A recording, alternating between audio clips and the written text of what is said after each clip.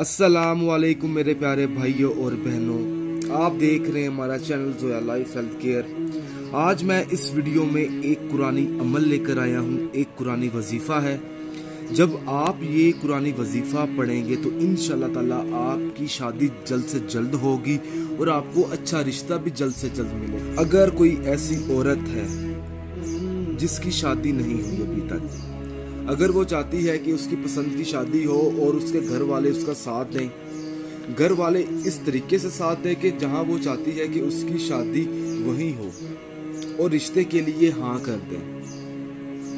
अगर कोई बंदिश आ रही है या कोई रुकावट आ रही है किसी भी वजह से या किसी भी शख्स की वजह से, या कोई वो दूसरा बंदा है जो चाहता है कि वो आपकी शादी ना हो, आपका वहाँ रिश्ता ना हो तो सबसे पहले आप काम ये करें कि किसी भी नमाज़ अदा करने के बाद, अगर आप फजर के बाद पढ़ लें या इशा के बाद पढ़ लें या असर के बाद पढ़ लें जो टाइम आपको मुनासिब लगे, आप उस नमाज़ के बाद ये वजीफ़ा शुरू कर दें। सबसे पहले तो आपने बिस्मिल्लाहिर्रहमानिर्रहीम पढ़नी है, उसके बाद आपने सूरत सबा की पहली आयत को क्यासी मरतबा पढ़ना है। सूरत सबा की पहली आयत को। जब आप क्यासी मरतबा पहली आयत पढ़ लेंगे तो उसके बाद आपने आखिर में आ जाना है तीसरे पारे पे। सूरत नास पे आ जाना है आपने।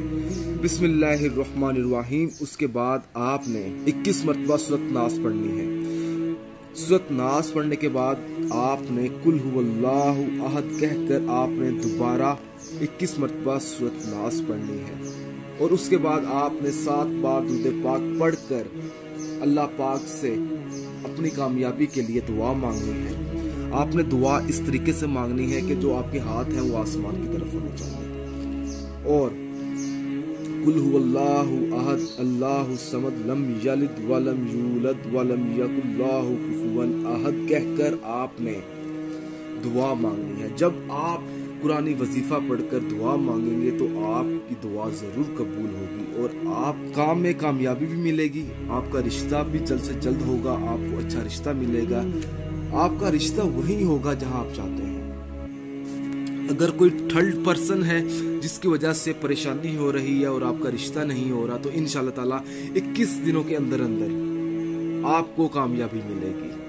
अगर आप मुझसे कुछ भी पूछा जाते हैं तो आप मुझे इस वीडियो के नीचे कमेंट कर सकते हैं। अगर आपको हमारी ये वीडियो पसंद आई है तो इस वीडियो को ज़रूरतमंद लोगों तक ज़रूर पहुँचाएँ।